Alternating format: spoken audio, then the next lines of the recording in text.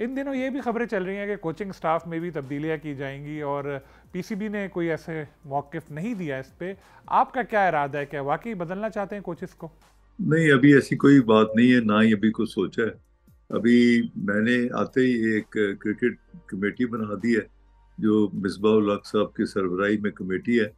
वो उस पर तमाम क्रिकेटिंग मैटर्स को देखेगी और जो भी क्रिकेटर्स हैं पाकिस्तान के, उनको, जिनको बुलाना चाहेंगे, मशवरे के लिए कमेटी में शामिल करेंगे, वो मिल के जब एक फाइनल तरजियात बना के हमें देंगे तो फिर मैं इन्वॉल्व होऊँगा उनसे डिस्कशन में। और डिस्कशन के बाद फैसला तो हमने बेसिकली सबने मिल के यही करना है, जो पाकिस्तान के लिए बेहतर है, पाकिस्तान के क्रिकेट के लिए बेहतर है।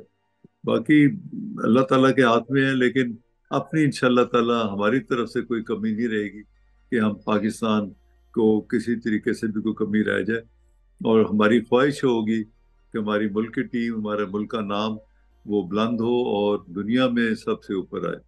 आप खुद लोकल कोचेस के हक में हैं या फॉरेन कोचेस के? मेरे नज़दीक कोई फ़र्क नहीं पड़ता लोकल हैं या फॉरेन कोचेज हैं जो बेहतर परफॉर्म करे मेरे नज़दीक वही बेहतर है।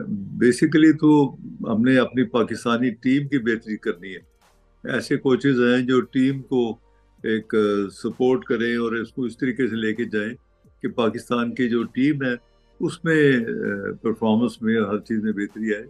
और अभी तक जो टीम कोचेज हैं, वो काम कर रहे हैं और अच्छा काम कर रहे हैं। लेकिन जिस तरह मैंने गुजारिश की कि हमने एक क्रिकेट कमेटी बनाई है तो उस कमेटी की जो आएँगे, सिफारशात आएँगे, उसके बाद फिर हम फैसला करेंगे। कौमी क्रिकेट टीम के लिए चीफ सेलेक्टर का तकर्र कब तक किया जाएगा? और कौन से नाम आपके जहन में हैं? चीफ सेलेक्टर के लिए भी बहुत सारे लोगों को देखा है, सोचा भी है। तो मैंने फिर सोचा है क्योंकि अब ये क्रिकेट कमेटी हमने बना दी है तो इनसे भी हम मुशावरत करें, इनसे भी मशवरा लेके फिर हम आगे चलें।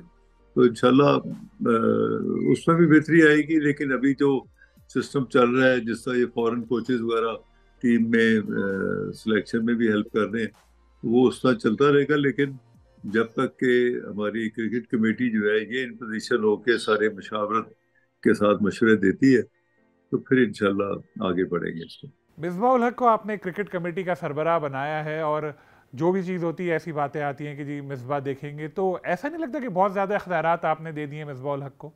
जी नहीं मेरा नहीं ख्याल क्योंकि मिसबा हक का बड़ा अच्छा नाम है पाकिस्तानी क्रिकेट के लिए बड़ा अच्छा नाम है और बड़े टेक्निकल माइंडेड है इंटेलिजेंट है और उन्होंने पाकिस्तानी टीम को फतवात के मैदान में लेके गए हैं, बड़ी उसको लीड किया है और उनकी परफॉर्मेंस इतनी अच्छी दी है।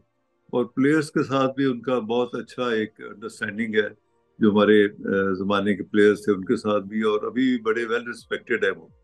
तो मैं समझता हूँ कि ऐसा शख्स आगे आए, जो क्रिकेटिंग मैटर्स को ये हैंडल करे, ये इधर भी करें और जो आईसीसी में जो क्रिकेटिंग मैटर्स की जो मीटिंग्स होती हैं, उसमें भी पाकिस्तान की नुमाइंदगी करें। क्योंकि मुझे इनकी जो क्रिकेट कमेटी के लीडरशिप पे काफ़ी अतमाद है कि इंशाल्लाह ये आ, कल भी रात को साढ़े ग्यारह बजे तक बैठे हुए थे वो और उन्होंने बैठ के तो उसके ऊपर काम कर रहे थे इसमें।